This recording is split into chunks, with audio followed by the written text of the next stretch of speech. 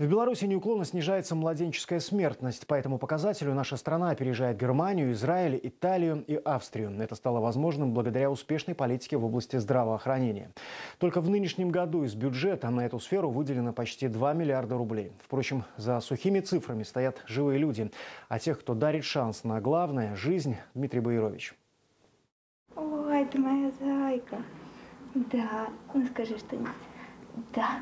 На своего первенца Екатерина, кажется, не может насмотреться. Это сегодня у роженицы улыбка. Уже вечером маму с дочкой выписывают. А еще неделю назад у тяжелой пациентки были совсем другие мысли, от которых ее благо быстро избавили врачи. Я очень благодарна центру, потому что специалисты уровня высочайшего. И я рада, что мне помогли здесь, что у меня родился ребенок, и у моего ребенка есть мама, не только папа. Патология во время беременности и тяжелый случай даже для специалистов в развитых странах. В теории роженица при таком диагнозе может умереть от любой мелочи. У нас же подобные роды поставлены на поток. В авангарде здесь научно-практический центр «Мать и дитя» в Минске. Единственный роддом четвертого, самого высокого уровня в республике.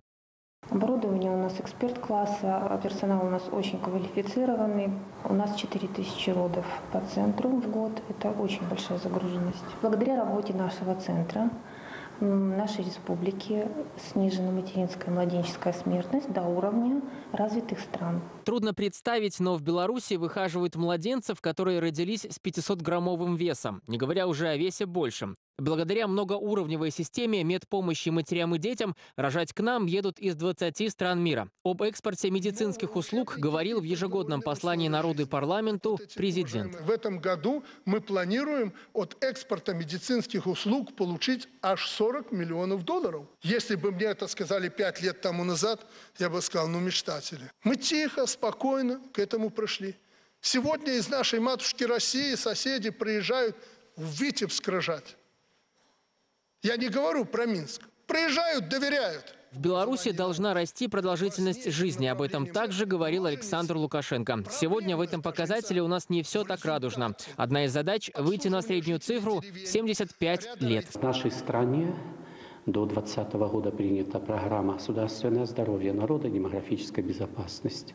Одним из целевых показателей – именно этой программы является увеличение продолжительной жизни до того возраста, который был обозначен главой государства. Я думаю, что эта задача вполне выполнима для нашей страны. Медицине в Беларуси, как, впрочем, и везде, всегда уделяли особое внимание. Ведь польза, которую в будущем, а кто знает, принесет и себе, и стране отдельно взятый ее гражданин, главная награда каждому, кто позволил этому случиться.